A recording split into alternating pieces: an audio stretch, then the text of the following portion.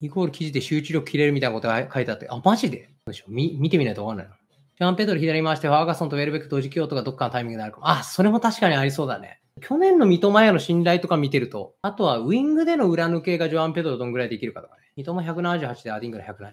でももっとなんかアディングラはいい意味で小さいって言うとあれだけど、すごいアジリティを感じる選手でしたね。本当ファティ感、すごい感じましたね。だあとは、ここからボランチマカリスタいなくなって、まあ、パスカル・グロス、ダフードになるのかな普通に考えたら。アヤテが結構良かったね。アヤテともう一人誰だっけ？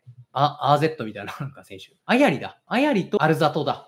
あれ、どっちがどっちだっけ？アヤリがね、なんかモロッコって感じのね、ぬるぬる抜いたりとか運ぶのうまい感じだったよね。アルザテがバランス取りながらみたいな感じだったかな。ここのボランチもすごい楽しみなんですよね。そう、だから本当にね、イゴールの出来ですよ。このメンツにコルビルいたら超楽しみですけど、キルモアパスコースの立ち方とか折り方とかミスるときが結構ある。なんかこう、ナルシズム感じる瞬間が多いんで、そこですね。そう、アヤリうないっぽい。めっちゃわかる。